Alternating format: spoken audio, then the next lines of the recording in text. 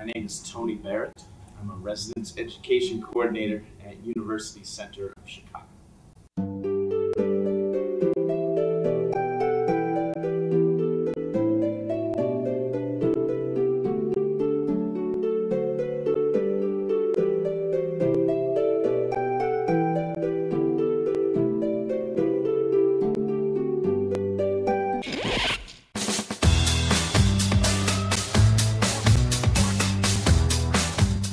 Charge of floors 8 through 12 at University Center, charge of uh, um, 13 RA staff, and responsible for 600 residents.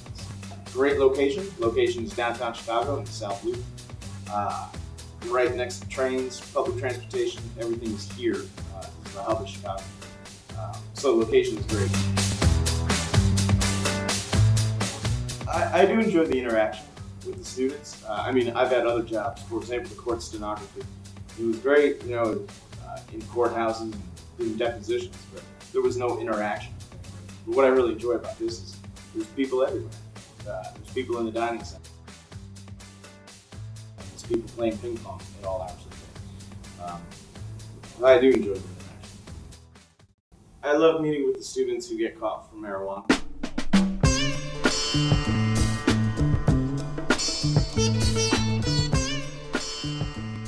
Supposed to come down and, and we have that educational moment. Uh, and I, I, I call it story time with Tony. Some of the stories in here are absolutely out of control. They need the marijuana because it fuels their example. Or people who get caught with alcohol. I feel because they're in college, they have a right and a license to drink and do all the drugs they want. When in fact, don't. And I, I like to tell them.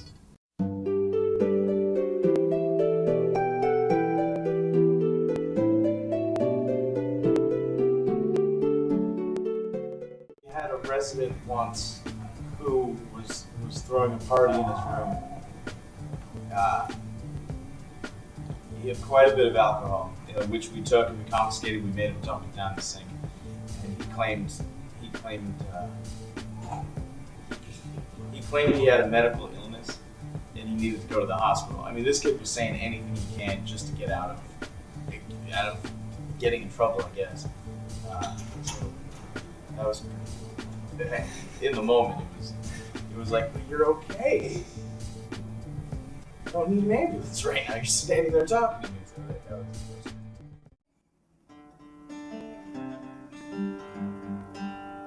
Actually, seeing it click, that's what I enjoy the most. Is that at the end of the year? Because these students come in at 18 years old, freshmen, they have no idea what they're getting into. They have no idea what it means to live in an urban environment. And then by the end of the year, just seeing that growth, whether they, they know it or not, it's,